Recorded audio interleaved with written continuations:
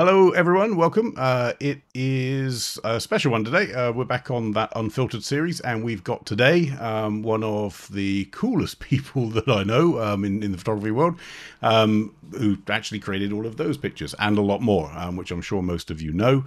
Um, he's also, strangely, created a load of books, um, which I also have, and we're going to talk about um, a newer one even that's coming out. Um, but over the years, that person, of course, doesn't really need much introduction, but that is Mr. Chris Burkard, um, who is now on your screen. Um, so, hi, hi Chris. Um, you're. Uh, yeah, you're um, out in California, um, obviously. So, for those people watching live, if there are little blips and stuff, it's probably because from where I am in the middle of the country in backwoods England and where Chris is, there's probably some differences in network connections and all that sort of stuff. But um, we're going to spend the next hour effectively putting questions that you've either already sent um, or have um, into the chat. So if you want to ask Chris a question, um, there's uh, we just had the, the discussion, so no off limits um, within legal reasons, obviously. Um, but go go go for it. Put, put whatever questions you want in, um, and we're going to just ask Chris to sort of cover um, cover as much as we can. So I guess with that, um, let's get started. In fact, before we do that, Chris, um, I, I, can sort of intro you and, and say, you know, how great photography you you create and, and all of the you know these I've got loads of these things and stuff like that from you. Um, but in terms of where you're positioned as a photographer, how do you describe yourself now? Because I, I know it's changed over the years um, from when you sort of started off surf photographer now to maybe more um, more broad than that. You know, I, I think that's a great great starting point, and I guess I would say that as much as I love the title of photographer, I feel like it's so incredibly limiting I mean, so incredibly limiting. And and um, I just had this question yesterday on a uh, podcast that I did with somebody. Um, you know, trying to really understand at what point I wanted more. I think that each of us are searching for a multitude of ways and modalities to express oneself right? If photography is the only medium you have, it can all of a sudden feel very much like you have tunnel vision and um, it, there was a certain point in my career where I really wanted to explore just other ways in which I could uh, see the world. And so I think directing films and, and trying to tell stories vocally via podcasts or, or doing in person events, books, um, being an author, like those are all the, the types of hats that I really like to wear. So I don't want to really say like I'm a photographer because I don't wake up every day and pick up a camera and that's how I make a living. I every day is a little different. And um, and I think that at the core of what I love, it's storytelling. I mean, you you um, you know you express this as well. You know, you do this as well, and we all have our own ways to do it. Um, but I do think that the world benefits greater from mm-hmm. telling stories, and I think that the vulnerability that come with telling stories is so crucial to our own growth and the growth of others. Cool.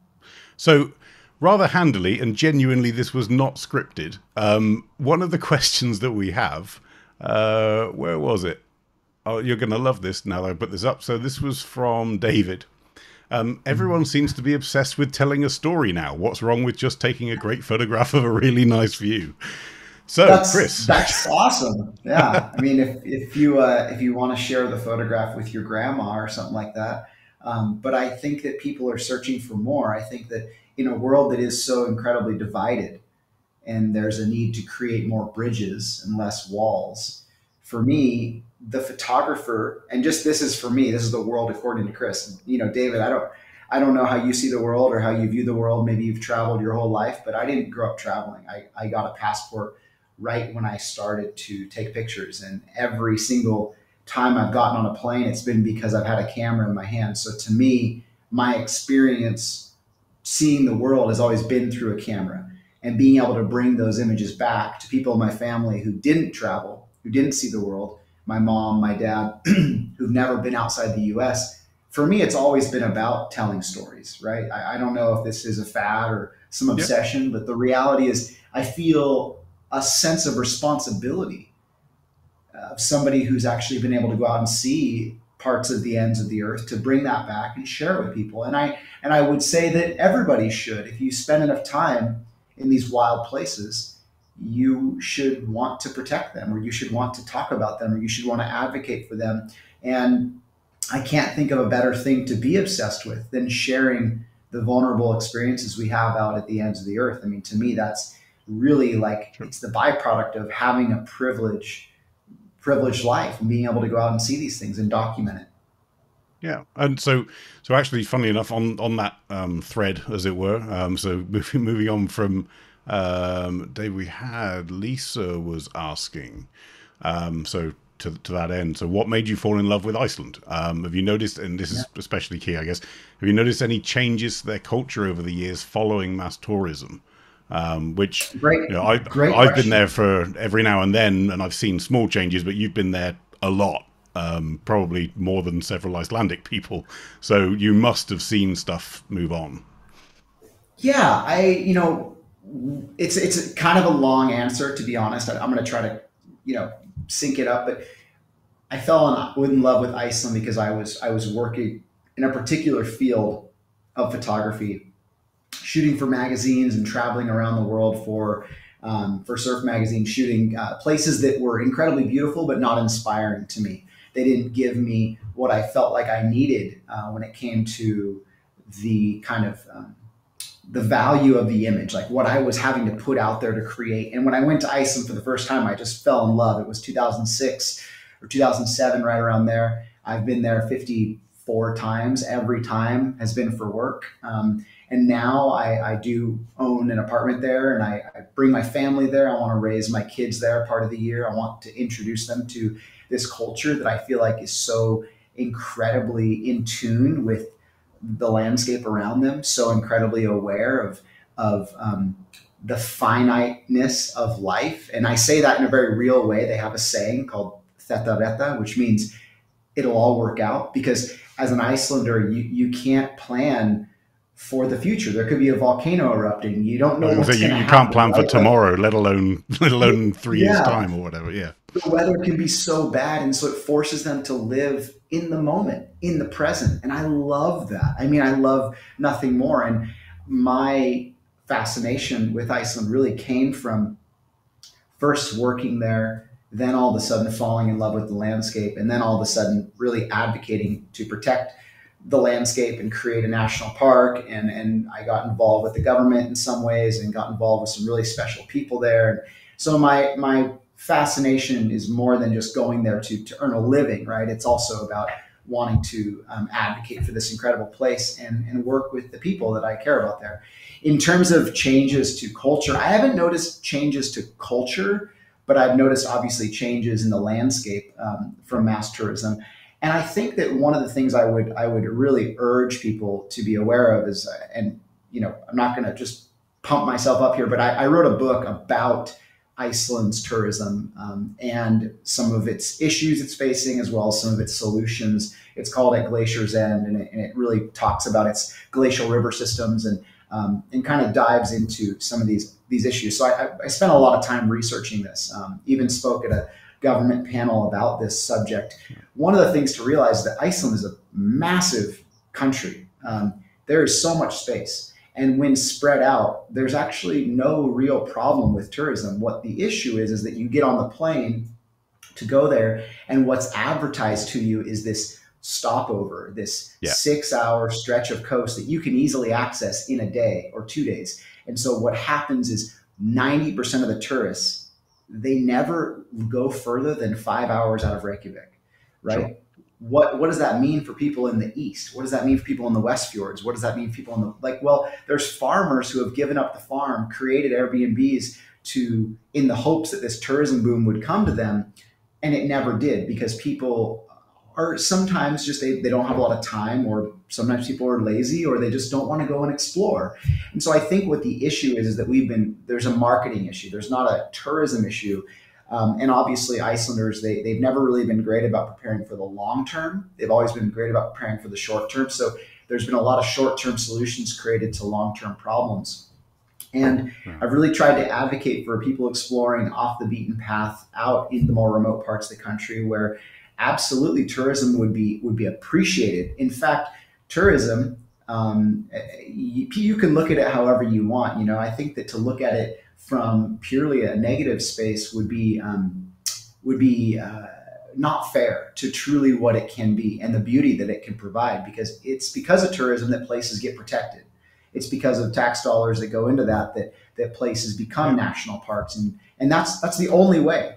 If people don't visit them people don't care about them they, they won't become protected. That's just how it works. Um, and if i had to um, compare some of my notes some of my studies about extractive industries versus tourism i would say that tourism is an absolutely much better option because it's controllable because it's manageable and it's a there are resources yes that are at risk but but those can be can be managed and they can be um, they can be in some way guided and it's not like we're dealing with aluminum smelters damming the rivers or um, polluting the water or overfishing which is a lot of the alternative sources of income that the country sure. has and it, so uh, to that point actually so you literally um, were responsible for setting up things like this so West Fjords yeah. Way. Um, so for those that don't know, Chris um, kind of likes being on a bike every now and then, um, including one that's like 600 miles worth of, of, of, pretty hard track around Iceland. So,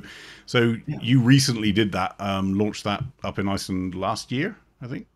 Yeah, it's actually becoming a stage race, which means it's like going to be an actual certified kind of bike race in the country. And I guess the thing I would say is that, uh, again, I, I, I know my influence. I'm aware of my uh, impact on this country and, and other countries. I, I, get that. So when I go, I really try to be thoughtful of like, am I promoting human powered adventure? Am I promoting real authentic experience? Or am I just going to like Skogafoss every time I go there? Right. So for me, yeah. um, working with tourism uh, and knowing that they want to advocate for people to come there during 2020 and, and even prior, the West Fjords, it's this small earclove of the country. It's so beautiful, so remote, but they had like half of the hotel reservations that were made were canceled.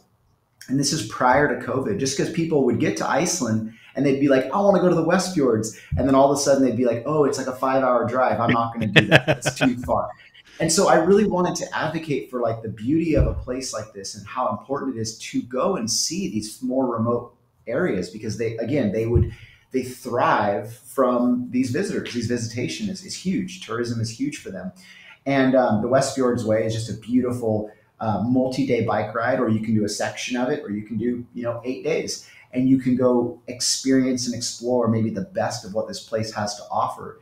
Um, you know, with your own two yeah. legs, and and ultimately, it's just a it's just another way of experiencing a, a location, a country. I, I, I tend to try to um, personally take on the challenge of seeing places in a more slow, methodical way, as opposed to like, I've got five days. Let me see all the greatest hits. Let me find all the bangers, yeah. right? Like, um, well, the, yeah, the golden circle on a bus deal sort of thing. Yeah, um, yeah. yeah. I always call it like big game hunting. You're like going to stop, you know, shoot, you know, pull out your rifle and like just find the big game along the way, you know? Yeah.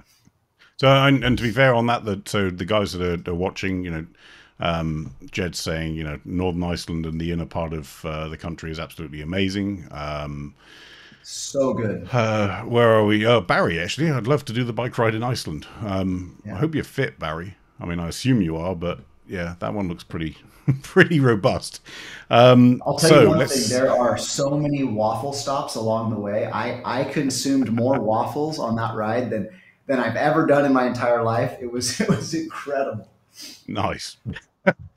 um, so on that, I mean, obviously, um, there there was some news recently. Um, so actually, someone made it. It was actually a non it was a non question question, but uh, from Alan. So not a question, but just wanted to say how sorry I was to read about the passing of your friend volcano pilot in Iceland. Yeah. Um, the images from your flights with him have been a huge inspiration to me, uh, and I'd like to thank you for that. Um, so you know, yeah, this guy Haraldur, um, is a, a, friend of yours. I mean, you've you've known him for years and years. Um, yeah. And a lot of you know things like the books that you produced are as a result of flying with Haraldur. So sadly, yeah. um, a couple of weeks ago he passed away. Um, but I know you're now doing some um, stuff to try and keep that memory going um, and, and, try and um, try and help. Yeah. Yeah, there's a. I'm doing a, a print fundraiser right now. That's immediately all the funds are going to support his family um, going to support um, his memorial service. It's actually scheduled for the 25th of um, this month. I'll be flying over there and and taking part in that. And um, you know, I'll just I'll just say to that experience, like it's really special when you find somebody who shows you a world that you never knew, shows you the beauty of the world that, that you you didn't even you couldn't conceive of. And I think that's what was so special is that there's not many friendships in your life where when you come together you always create something. And so every time we were with one another, we were creating something. It's my my love for this place, this country, and my awareness of the river systems and, and the dams and all it comes from from him. He would literally fly me around and educate me. He would um he was the one that kind of fueled that fire and and my the book that I made at Glacier's End um, and all that work, seven years of, of work flying with him was directly because of his influence. And um, I would also say that, you know, as somebody, you know, just to be vulnerable, I think that somebody like myself, I didn't grow up with a dad and I, um, um, he passed away before I was born. So I think I've always looked to these like male figures um, in my life as, as people who could be of influence. He became that person for me in many ways, you know? Um, there was even a time in Iceland where like I, I remember I was finishing a shoot. I had nowhere to stay. Everything was booked, and I, he's like, "Yeah, come stay in my house. Like, I'll, I'll, you can stay in one of my kids' rooms." And I just, I look back at those experiences, and um, they're so special. You know, he's such a special person. Sure. I'll just lastly say that it's very unique when you think of somebody like that. Every person that got into his plane, for the most part, was a stranger, and he would take these yeah. total strangers and he would show them the uttermost beauty that he could find.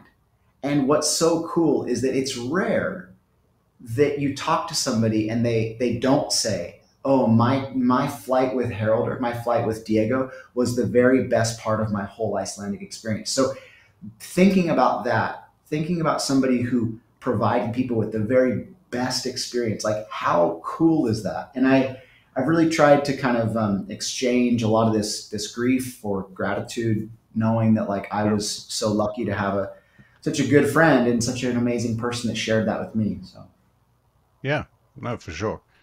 Uh, so it's funny. Um, well, in, in, a way, you, you mentioned um, Diego as, as his name. So, um, on a slight link to that, uh, where are we? Gopal, I saw you keep and breed alpacas. Uh, is there a particular reason you chose them over other animals? Like you could have got a cat. So yeah, point. you know, I, uh, so yeah, it's pretty simple. I live in like a rural area. I live in Central California. I have like five acres of property, and it's you have to trim the weeds for fire safety, right? So we had to make defensible space where we have like all that trimmed up. And, and honestly, we got the animals because we're like, well, they're gonna they're gonna eat all this grass and it was actually like more effective. And then we could obviously take the fiber and we could process it and give it to people. And and they're just really cool animals. I also have two boys young boys. I wanted them to have responsibility and something that they could like take care of and manage. So that was a part of it. And plus they're just like such cool pets. They're rad. I mean it definitely turned into something more um, but our original idea was like well how, we need something for the property. You, you, i was so, gonna say yeah, you, you bought some lawnmowers effectively. Yeah, exactly. effectively. Yeah. And then um, yeah, hence the the the Diego link. So this was, was this is this yeah from last week or yeah this is we just we have these two um, Swiss sheep called uh, Valais Valais black nose sheep. Um, and uh, they're they're a Swiss breed, really cool, super friendly. And, and I we we bred our alpacas. We had two babies. We had to sell them because we couldn't keep all of them, but then we got some sheep to um, to basically kind of help with the property. And again, we just you know it's kind of like a useless farm, makes no real sense, but we we enjoy the opportunity to raise them. And it has pristine grass all year round, by the sound of it. Yeah, exactly. Oh, um, so actually, on that point, Tim just made a question. So you mentioned um, obviously your two kids. Um, one of the first books, obviously, that you brought out was um, the boy that spoke to the the earth, um, which was for one of your kids at the time. Mm-hmm. Um, so yeah. Tim's just oh, let me just move that. So Tim's just asked, has Chris got any more plans to write any more children's books? I guess as they're getting older. Um, It's a great, it's a great question, Tim. I, I mean, you know, it's funny. I never, I never imagined writing a children's book. It wasn't like in my five-year plan. Um, the opportunity kind of arose uh, with a publisher, and and I guess in some way I felt like, man, this is a this will be an experiment, and I'm so grateful that it turned out well and that it it really spoke to a lot of kids around the world. And, and during COVID, it especially became a useful tool. It was turned into a curriculum, won some awards, et cetera, et cetera. I've actually thought about making, um, working on another children's book with my wife, and she started to write it. Um, and, and it would be a little more geared towards, um, obviously, The Boy Who Spoke to the Earth is, is meant for all kids, but we wanted to make one that was more specifically geared towards, towards young girls. And, um, kind of some of the the challenges and things that they they are raised with. So it's in the works. It's it's a thought, but we haven't like poured a ton of time and attention into it. But I I'm I'm honored that people even like know about it. That people care about it, and and to me, it's it's probably my proudest piece of work. And I and it's funny to say that because there's no none of my photos in it, but my photographs inspired the the drawings sure. and the the artistry. So on, on, and actually on that um, note, so um, David, I think a different David um, had asked, you know, can you talk a little about how you come up with the concepts and subjects of your books? obviously now, since then, you have released quite a few photography yeah. books. Um, so does someone commission them, or do you wait until you have a large enough collection of images on a theme to publish something? So that, how's that now working? I guess. That's a great question, David. Honestly, I love talking about publishing. It's one of my favorite subjects. I've been doing it for a while. Um, and I have a lot of experience because I've worked with big publishers, Chronicle and and Abrams and um, Terra and whatnot. And then I've done self-published projects like The Boy Who Spoke to the Earth um, and, and some other smaller books as well that we've, we've kind of done. My At Glacier's End, um, the book about Iceland's rivers, that was totally self-published. I made it my, myself. Um, I think what it comes down to is, is a couple things and I'll, I'll talk about this from two perspectives because it's kind of a hard thing to just like gloss over. But I would say that first of all, from like more of a financial and, and practical standpoint, when publishing a book, um, the key component is to figure out and work backwards. Like, what's your end goal? Is your end goal to make something that can be like a great marketing tool to have on a uh, uh, you know, to have in the hands of everybody and for them to see your work, or is your objective to make money? um, and, and to collect money. And, and there's no right or wrong answer there. You just need to work through that because if you self publish, you have the opportunity to make more money and retain creative control.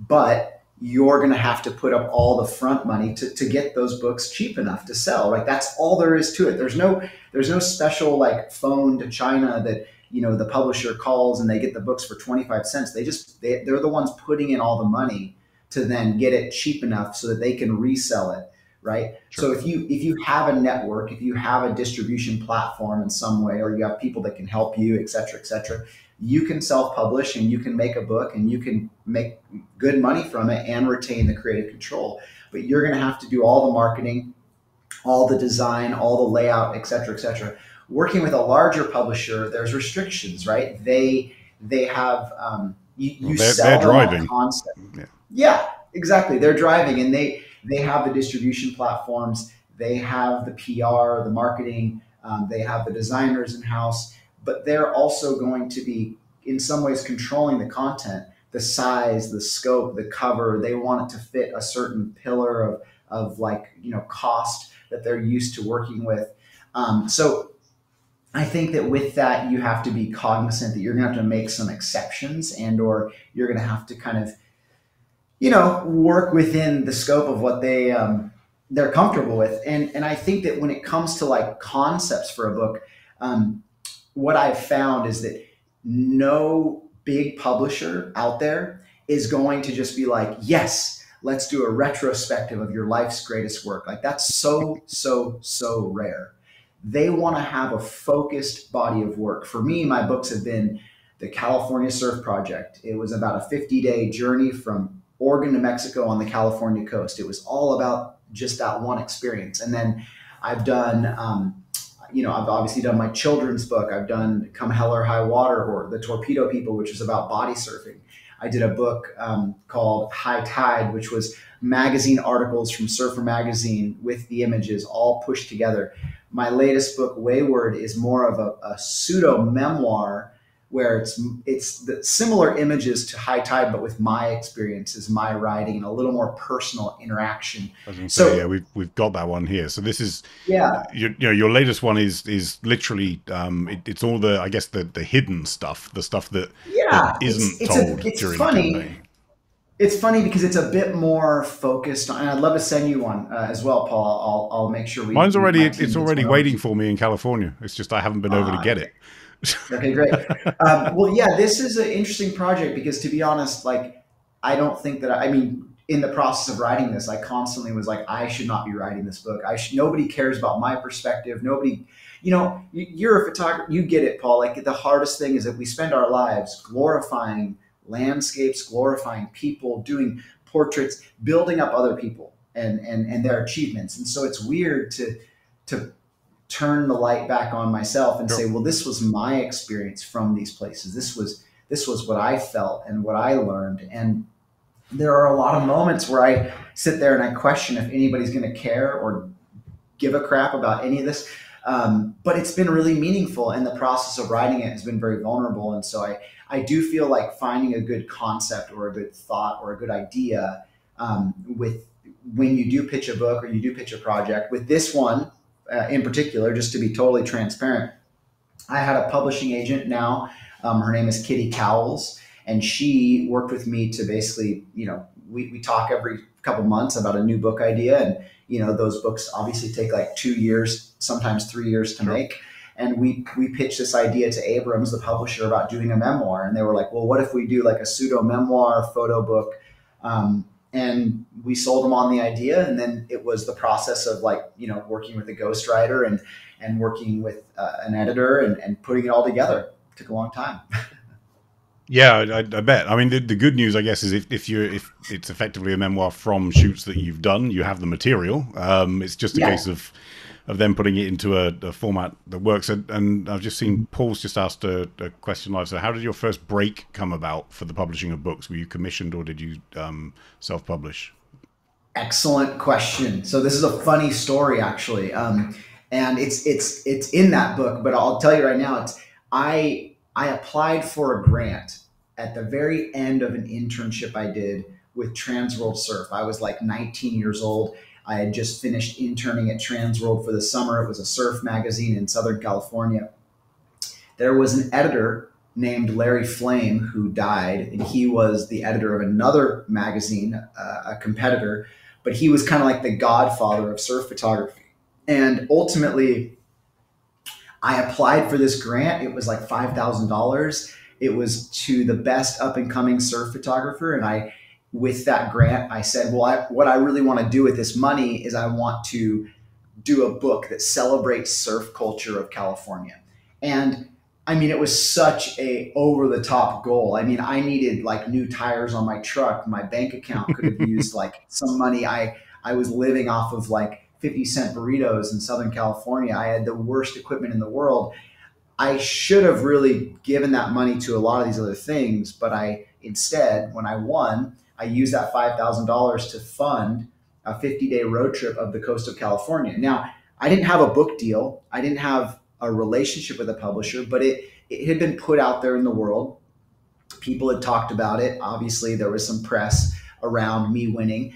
And I was working with an editor, Marcus Sanders from Surfline at the time, who kind of covered the trip. He knew an editor at Chronicle Books in San Francisco um, Sarah Malarkey, who basically was the surf editor at the time. She worked on all ocean related books. And so we brought her the content, and I was like, here's my images. And she was like, okay, where's the words? And I'm like, what do you mean?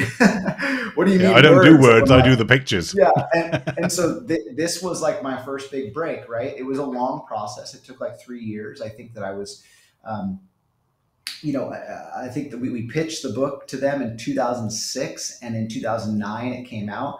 It was called the California Surf Project. It's still in touch today. Um, or it's still in, in yeah, it's still in, in, print yeah. today. and it's it's an awesome book that's really meant to celebrate um, the, the, surf culture of California. We surfed in every coastal county. We had a really focused time frame of like 50 days in a Volkswagen bus, you know, traveling through like November, December, which is like peak season, um, and and it was a, a, focused narrative, and it really came to life in that way. So um, I I pitched it. Yeah, I, we got paid like a meager amount of money, and then we got we got royalties, um, and sure. we still get royalties from it today. Yeah, sure. Um, well, in fact, it's one of the things that uh, I guess a lot of um, the, the goal isn't necessarily to get someone to pay for the book. The goal is actually to drive a secondary um, or ongoing income stream. Um, yeah, it, I guess. And and you're, you're spot on, Paul. And, and with that book, I, I really had to sit there and decide like, what do I want from this? I wanted it to go everywhere. I wanted it to be a marketing tool, which it which it did. It brought forth a lot of other work, especially at a young time in my career when I when I needed the exposure. It was a huge tool for that. But I definitely would sure. say that like the book never paid for the cost of making it, you know, for the cost of doing the trip and, and all those things as uh, as a bit of an endorsement. Um, so there you go, ballsy to spend the grant that way. Well done. Um, so, yeah. so yeah, that paid I off. I felt cool. the same way. There was about a thousand dollars worth of parking tickets from the trip. Um, Ouch. so uh, just um, as a sort of a, a, bit of a, I guess, sort of halfway break, as it were. Um, I just want to switch across to some of the images out of the Wayward book because um, you've sent yeah. them across and just sort of I mean, this one um, is is one of your, I guess, classic shots, um, not necessarily um, linked to Wayward, but um, I mean, this is Iceland, obviously. Mm-hmm. Um, you've, you've pretty much shot, yeah, you've pretty much shot everywhere, I think, in Iceland now. Um, that's fair, fair to get or fair to say. but then, obviously, we've, we've got some of the aerials in there. so this one yeah. being linked to what we were talking about before. Yeah. This shot, so that when we're talking about that sort of surf van life and all that sort of thing, there's a yeah. lot of your work that includes that as an element, right? So mm-hmm. it, it's it's very much about the people in the shot. It's about um, the I guess the surfers in in context and whatever. So is that something you, you that, a, that, you've always done, point. or yeah? Well, yeah, it's funny because there somebody mentioned this earlier, like you know, um, being obsessed with story. I would also say that nowadays we're kind of obsessed with with you know putting the subject into the landscape when really for me coming from the surf background it was always about the subject was always there. Like i was doc i come from documenting surfers and athletes right? Yeah. i have a subject. If anything my style of work was really about taking a step back and trying to show the landscape that the athlete found themselves in. So it's a funny thing because I think that in my body of work, I've always just kind of thought about, well, I I, I want to you know I want to do the opposite. You know, I kind of want to add this this landscape, take this step back, show a more broad perspective because I was obviously very inspired by landscape photography, very sure. inspired by Ansel Adams and Michael Fatali and all these people, and I knew that that wasn't a career path I could necessarily follow um, because I just didn't have the means, a, a, gallery, I didn't have the equipment, and I had the time to go out and wait. Uh, but you know, starting my career in magazine work, shooting beautiful places, I felt like I still wanted to bring an element of landscape photography to the table, um, whether or not I was shooting athletes or surfers or whatever. So I feel like this photograph is an example of that marriage of those two concepts. And that was really how yeah. you know and, and again now nowadays this might be commonplace. I don't know.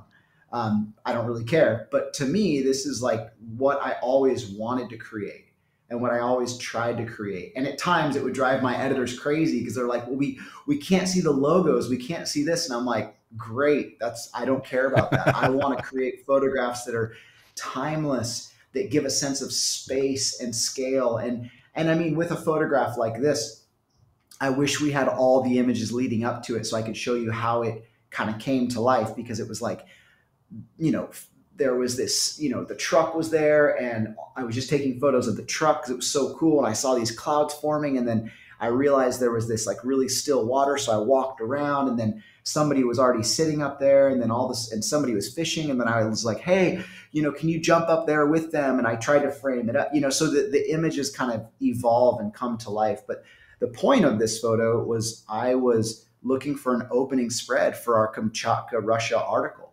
You know, right. I wanted to have, um, you know, all of this is very, you know, thought thoughtful, right? Like I'm thinking through this frame. We were driving this incredible, you know, 18 passenger Russian Soviet military truck. It, it speaks to the landscape. It speaks to the fact that we're not, you know, in the Western U.S. We're somewhere different. We're somewhere remote. Um, you know, it feels like an expedition. The, the the sunset, the reflection, it's weighted right in the center. This ended up being the opening spread. Why? Because I was looking, and I'm always looking for an image that tells a deep story. Yes, I love adding my own personal perspective to it. I love adding. I'm obsessed with telling the story, but when I can have a photograph that really does help tell that story for me, um, to me, that's the sign of a successful photograph. Yeah, that, uh, absolutely. Um, so I, obviously on that photograph, you, you, sort of mentioned some of it was spontaneous rather than being um, sort of planned, as it were. Um, so just question from Wayne. So what, what happens when you get a creative block and how do you overcome it? And what motivates you to continue taking pictures? Well, there we go. Economically, politically, intellectually, or emotionally. That's, that's quite a deep question, yeah. Wayne. It's a great question, Wayne, and honestly, uh, very, very thoughtful. Um, creative blocks are very much a real thing. And I think that to come back to like the first one of the first questions that you asked, you know, what what do you see yourself as today? I think that if I was still only a photographer, I would have a lot more creative blocks. I would feel very frustrated because it would be like only having one language, you know, or only knowing how to use a fork. And sometimes when you want to eat soup, you, you it's really frustrating to eat with a fork. So you you need to have a, a, a series of tools you can use to express oneself. And I think that that is the biggest and most important thing that I've found is like if I can hone a series of tools um, to express myself, then I don't get as blocked creatively. Um, I definitely find myself at times wearing a lot of hats, right? Like I, you know, I'm on a, right now we're doing a podcast series and then I've got to go into like a meeting to talk about something as a, as a brand influencer. And then I have to go uh, straight into a, a, piece that I produce for Nat Geo and talk about that project. And then I've got to go look at some still images. So there's a lot to manage at times, but being able to have those different outlets keeps me inspired I also think that having my my hands somewhere involved in a personal project, uh, meaning something that like isn't there just to make money, it's there because I'm passionate about it, and an environmental project is really important. So I, I always try to keep those two things on like the back burner, where I'm constantly working on something that to me feels like I'm I'm protecting, advocating, or um, you know bringing awareness to a place that I love and then also I'm telling a story that is meaningful to me about a person, place, or thing. And although those those projects don't always like they don't pay the bills, they don't always come to life. Sometimes they take years, um, and they sit on a shelf. Even they're so important to have as a way to just keep yourself again from you know getting a creative burnout. Yeah, yeah, sure. So on um, just thinking of outside of um, photography, there's a there's a good question in here. Well, it's a difficult question in here, I think, for you. But if you had to give one of them up, that now I'm just going to clarify this. I rewrote this question because the question actually was originally a little more brutal about which you're going to lose, your hands or your legs. But if you had to give one of them up, would it be cycling or would it be clicking buttons on a camera? Uh, I mean, I think that for sure it would be cycling. I mean, photography is my my first love. It's my the way it's it's the it's the way that I learned to see the world. Right. It was my greatest teacher. Right. It was only because of photography that I felt like I got a chance to go and witness the beauty that was out there, and I, I owe everything to it. Cycling is just a, a fun way of uniting in my in my mind like landscape with experience right that's all it is and when it can tell a story awesome right? Yeah. Sure. Um, but if anything, you know, I, I would never give it photography. I mean, it's it's always gonna and, and, and nowadays it's always at our fingertips, right? Yeah. It's right there. So yeah. Well, yeah, we um, we talked to I think it was um, Joe Cornish a few months ago, and and the fact remains now most photographers, and you'll be I'm sure exactly the same. Ninety five percent of the shots that you take are on your phone. They're not on your camera anymore. It's so true. Um, so well, sorry, camera because obviously the phone is now yeah. a camera that also happens to make phone yeah. calls. Um, yeah. so actually, just, I guess sort of to cast back some time. So Michael asked, um, and I actually I like this question because it, it it's um it's a bit of a challenge to the standard question, which is it's always difficult to look at the old masters' work and and and work out how they got to uh, their break because and actually you look at it, you know, people refer to things like Ansel Adams, like you know, all, all the guys from you know hundred years ago almost, and, and and actually, yeah, times were different then. Even forty years ago, times were different, but nowadays things are very different. So, you know, hence the question, which is your story seems to be a lot more recent and relevant. So, other than other than using Instagram, um, could you possibly give some advice to those trying to break into the commercial and lifestyle market? Absolutely. Um, and I think one of the, the things I would I would say about this, Paul, great great question. Love talking about this subject. Um, I made a I made a pretty extensive business of photography workshop um, with the Wildist Co, where I really talk at length about this for like you know 18 hours. So I just I don't want to you know so keep in mind my my two minute response here might be um, a little you know uh, disingenuous in terms of how much there is to it. But the first thing I, I just want to comment on is that I, I know Ansel Adams' work very well. Um, I've been able to actually go behind the scenes and look at his journals, his diaries, and, and um, out in Flagstaff, where they, they the Center for Creative Photography, where they keep a lot of his work. Um, I've been in touch with the family and um, and the foundation. And one thing to keep in mind is that um, Ansel was truly appreciated mostly after his death.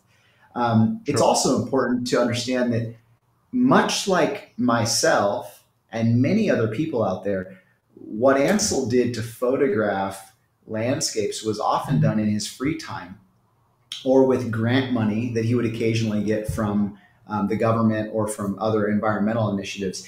He would have to go and, and photograph, you know, LA public waterways and other commercial assignments that weren't so glamorous um, to, to make ends meet. And I think it's important to recognize that um, that obviously social media is an incredible tool, but I do not think it should be the first space that photographers go to to try and bring awareness to their work or make a living.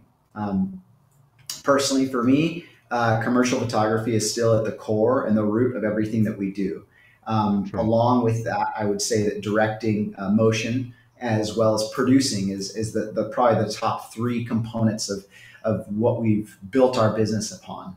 Um, advice to those trying to break into that world, the first thing I would say is that no brand or company or client is ever going to hire you to shoot something that they have zero examples of experience that you've created. That what I mean by that is like you need to go out and create the portfolios that you want to be shooting.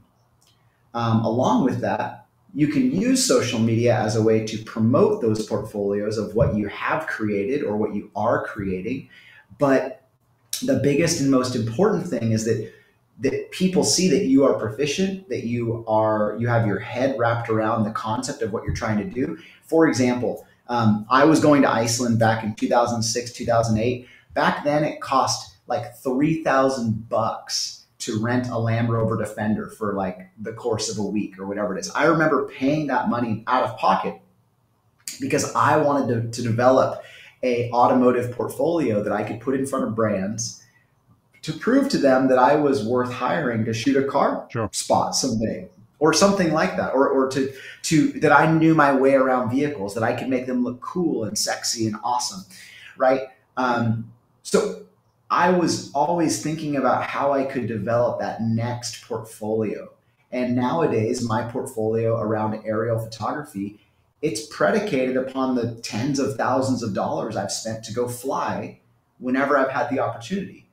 Um, sure. I'm lucky that now I've been able to be hired by Apple and other brands to shoot aerial photography for them commercially. But this always came about because I was first investing in myself and investing in those portfolios. As somebody who used to work on staff for Patagonia um, as a retainer photographer, the lifestyle market it's really simple. They're never going to hire somebody that doesn't know how to use their clothes, how to wear their clothes, is not interested in their clothes. So maybe instead of just trying to put good energy out into the world and and simply ask someone to hire you buy some of their equipment go out and use it in your daily life show that yep. you know how to use it and and that you are proficient in doing so and typically for a brand like that they they want to see somebody who is um, cognizant and aware of, of how it's meant to be used what are the situations um, before they maybe put you tell you to go shoot on spec right or something like that um, so i mean there's so much to that this is such a great question i don't want to um, just bury it with like a couple sure. tiny pieces of info. But I would definitely say like reach out to me or check out my workshop, and, and I, would be happy to dive a lot deeper into that.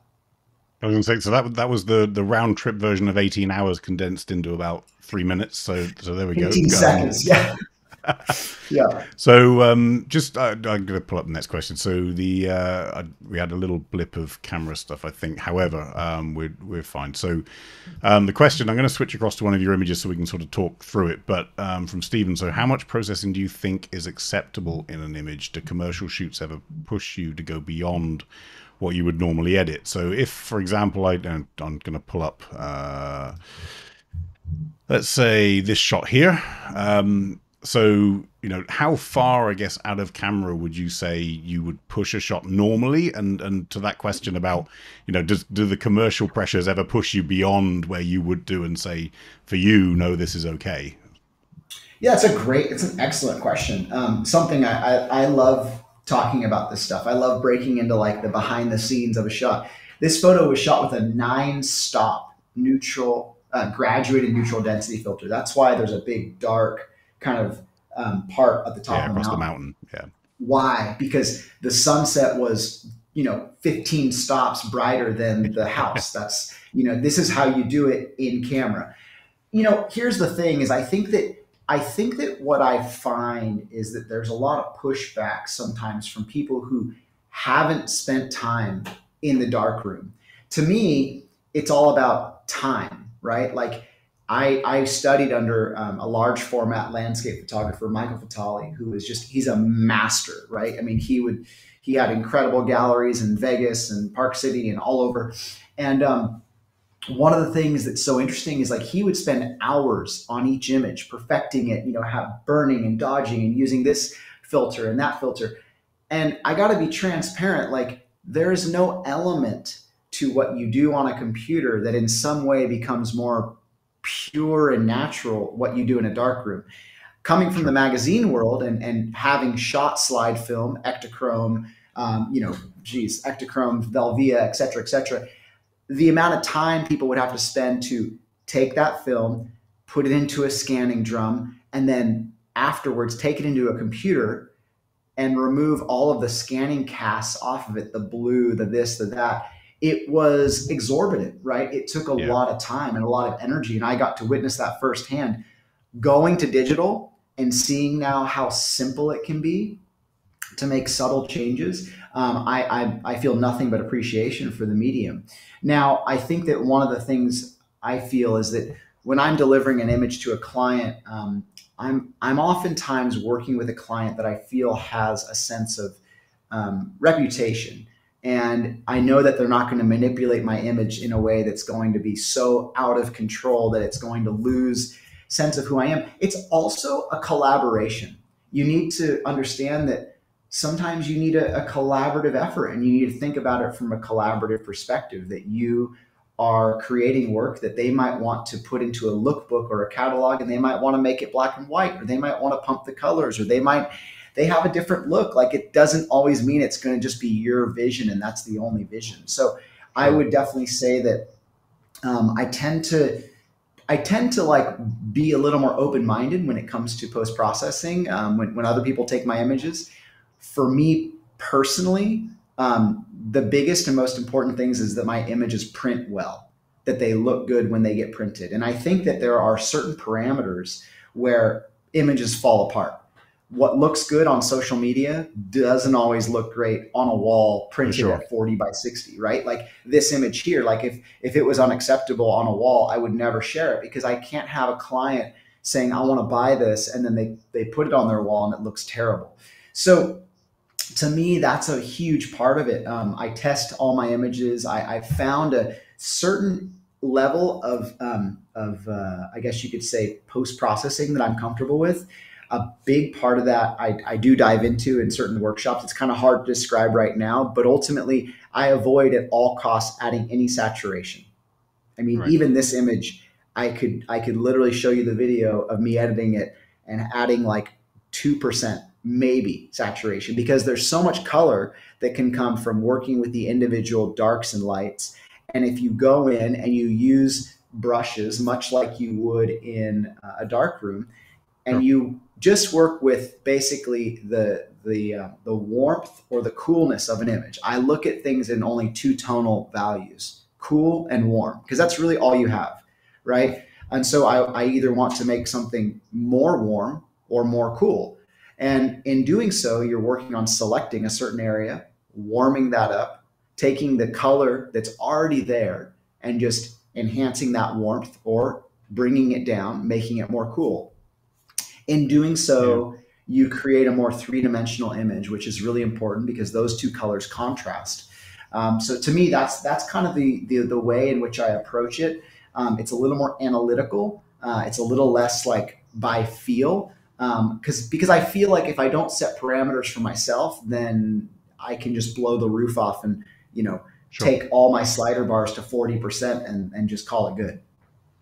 It's interesting you you mentioned there about um I get uh, well so the approach of I prepare it for print um, because in in part and we we talk about this with um with, with guys online quite often, which is preparing stuff for screen is a whole different ballgame to preparing something for print. And and I see it quite often where someone's produced something that looked amazing in a you know three by three square, um, as it were.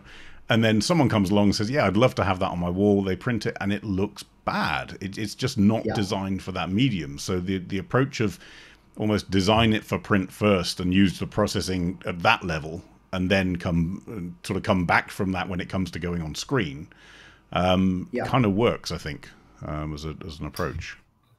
I, I, definitely think that that's what I've realized over the years is that um, is that if I'm sharing something on social media, it's on a backlit screen. It's going to look great, right? It almost always does. But when you're going to print something, you, you tend to need to bump up the exposure just a little bit, have it a sure. little brighter because it's going to be a little darker, right? That's yeah. that's one of the key components. Yeah, absolutely. Um, so let's uh, where are we at? A couple guys live. So Marcus, uh, do you often look at your old pictures, or how do you celebrate your own work? Do you have to, or do you have, or do you take the time for this? Do I celebrate um, my own work? Is that kind of the question? do you do you sit at home I'm, surrounded by your own images and congratulate yourself on how amazing they are? I gotta say, um, I sadly don't have a single one of my photographs printed in my house. I just I can't look at my work at the end of the day because I feel like that's what I'm doing all day at my office. My gallery is filled with my images.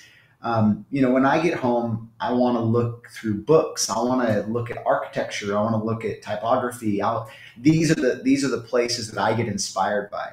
I think early in my career, it was focused primarily on looking at other photography, other images to be inspired. But now, as I've gotten older, I, I, don't. I'm not inspired as much by photography. I'm more inspired by like a beautiful, you know, song or again some other creative medium. Yeah, right. I, medium, I, gain yeah. more. yeah, I gain more inspiration. I'm sure you can relate to that um, as well. But no, I'm not much of like a pat myself on the back kind of kind of guy. I, I don't even you know, I hate even like thinking about or looking at like awards or anything like that. So. Yeah. So here's um, here's Brian's question. I'm going to switch across to your your inspirational wayward picture for the for the answer for this. But airline travel. So there's a quite a in depth question, but I think it's probably a, a quicker answer, which is how do you pack your gear? What I need, this is quite specific, Brian. But how do you pack your gear? What sorts of luggage containers do you pack it in? How do you mark it?